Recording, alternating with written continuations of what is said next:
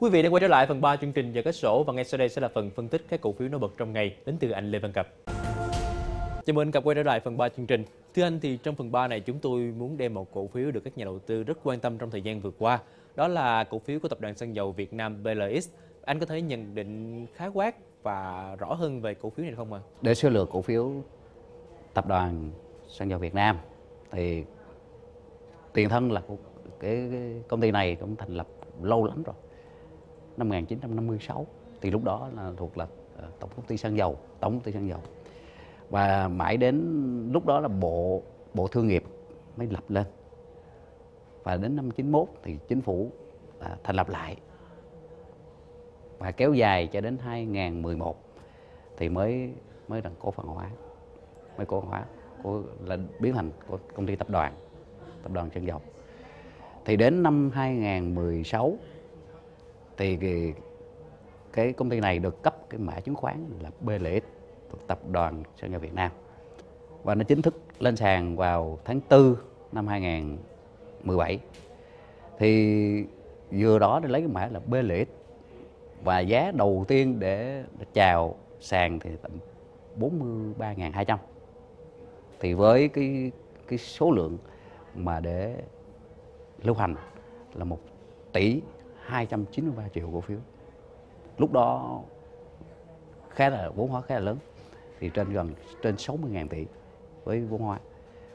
Và với cái giá đóng cửa của ngày đó thì tầm 48.900 và mãi cho đến hết năm 2007 thì cổ phiếu này tăng rất ấn tượng, trên 70% với cái mức niêm yết đó. Thì những cái thông tin về tài chính của Berlitz khá là tốt.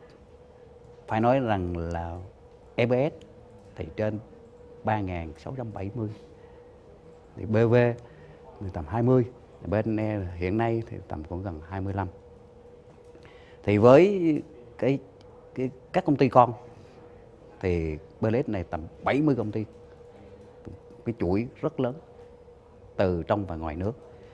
Thì trong đó là có 43 công ty con mà thuộc 100% vốn của Berlitz và còn lại là cái số còn lại là ờ, Berlitz đang sở hữu.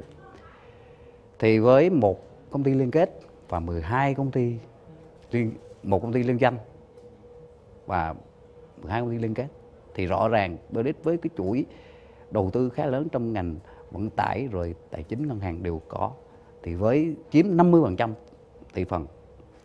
Thì rõ ràng BRX là một trong những cổ phiếu tốt về nhìn lại cái báo cáo tài chính của năm 2017 trong 3 uh, à, quý năm 2017 thì với cái cái tiền mặt mà tiền mặt thì trên 5.000 tỷ tiền mặt và tương đương tiền thì trên 12.000 tỷ khá là lớn với lại hiện tại với cái giá vừa qua thì đầu năm 2018 cổ phiếu BLX tăng trưởng mạnh mẽ tiếp tục và khối ngoại liên tục mua rồng mạnh mẽ trong thời gian vừa qua.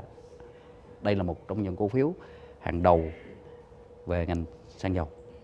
Và khối ngoại rất quan tâm những cổ phiếu này. Và trong thời gian vừa qua họ mua rồng rất mạnh mẽ mà làm kéo cho chỉ số tăng tốt. Và hiện tại cổ phiếu này có lúc cao nhất là 91 ngàn, trên 91 ngàn. Mà phiên hôm nay thì rõ ràng khối ngoại cũng quay sang bán rồng cổ phiếu này. Quay sang bán rồng, mặc dù các công ty đã mua rất là mạnh mẽ thì với kế hoạch kinh doanh của BLX cho năm 2017 thì để thực hiện những cái kế hoạch này thì với chia cổ tức năm 2007 là tầm 12%. Thì với doanh thu đề ra của 2017 là 143 ngàn tỷ. Thì lợi nhuận trước thuế là 4.680 tỷ. Và kế hoạch đặt ra cho năm 2000 18 BLX này đưa ra cũng, cũng khá là ấn tượng với cổ tức thì tầm 12% và lợi nhuận sau thế là ờ, 3.900 tỷ. Về doanh thu là tầm 164.000 tỷ. Thì khá ổn định. Và trong 3 quý vừa qua thì BLX cũng đã đạt được như kế hoạch. Với doanh thu của 3 quý vừa qua năm 2017 thì tầm là 112.455 ngàn tỷ. Thì với cái lợi nhuận trước thuế là 3.400 3.545 tỷ. Thì lợi nhuận sau thuế là 2.900 thì điều đó với những cái thông tin khá tích cực này, thì cổ phiếu này được nhà đầu tư ngoại và nội quan tâm.